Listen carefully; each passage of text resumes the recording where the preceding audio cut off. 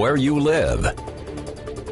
Good morning. We saw some snow flurries last night through the evening hours. You can see the clouds that stuck around as well, but now those are even clearing out of the area. A bright, bright moon out there right now. Very gorgeous conditions, although the snow is now blowing.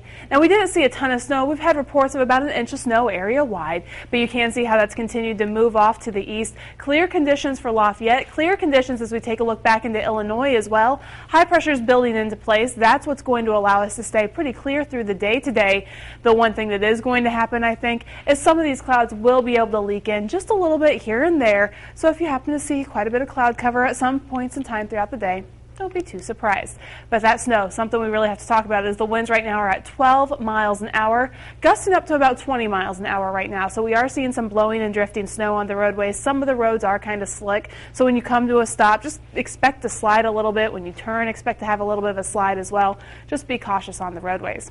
Temperature right now, 17 degrees in Lafayette. It feels like just 4 degrees, so you're also going to want to bundle up as you step out the door a lot to kind of think about today. Even though the sky is completely clear right now, as you take a look with precision cast, it's actually showing that as well. There's that high pressure that's building in. Now you'll notice with this pressure, high pressure, there is some cloud cover around it. It's not a very powerful high pressure. We're going to see those clouds kind of move in throughout the day today. Again, it's not going to be too bad. Now the biggest time that we're going to see that move in is through the overnight, as there's a pretty powerful system down to the south, bringing in more cloud cover. Friday is going to be a pretty cloudy day, but all the snow is expected to stay to the south. For today, 32 degrees your high, but we've already hit it. We hit that today at midnight. Otherwise, the temperatures are going to be falling by 5. I expect our temperature to be right around 18, 19 degrees, so just a little warmer than where we're at right now.